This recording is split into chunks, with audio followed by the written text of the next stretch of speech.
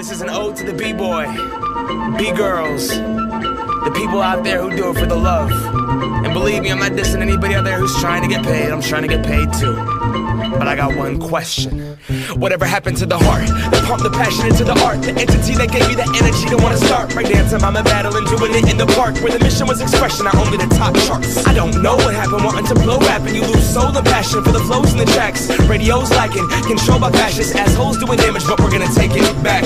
Before beats 100 G's a pop, all you needed was a tabletop and a beatbox. Hip hop without the B-boy is like shell toes, only having two stripes. Hip hop, we free to fight and graffiti, writing, crying, entice, and recite, and organize, and revitalize, and I rhyme until the corrupt money making system known as the industry can eventually get served. Breakers and robbers are spinning a revolution through our words. If you really want it, come on, get it, cause we got it. I'm honestly paying homage to forgotten pioneers of the culture, giving them propers. Learn. If you wanna earn your stripes, you gotta be able to rock this mic and set ciphers alike. The feeling of putting everything you got in a circle will never be documented in a Coke commercial.